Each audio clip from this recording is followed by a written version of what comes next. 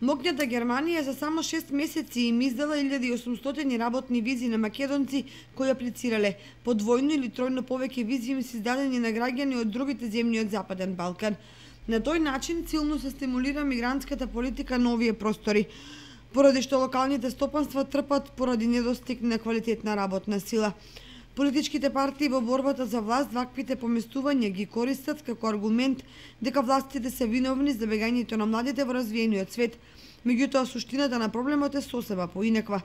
Практично Германија и другите резервни европски држави со едностранна политика ја привлекуваат и ја сорбираат најквалитетната работна сила од неразвиените, со што создаваат празни нека истите, а зголемена продуктивност и профитабилност во сите економии.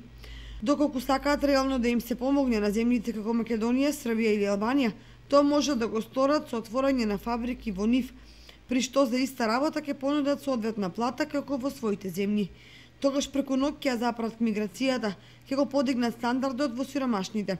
Но бидејќи такво нешто не им одговара, тогаш сосема известно е дека миграцијата на работната сила од балканските земји кон Европската унија ќе продолжи со уште посилна динамика. Кога на сите овие состојби ќе се надоврзат и можностите преку бугарски пасоши и двојно државјанство да се дојде до работен статус во членките на Унијата, станува јасно како и поради што младите ја напуштаат државата.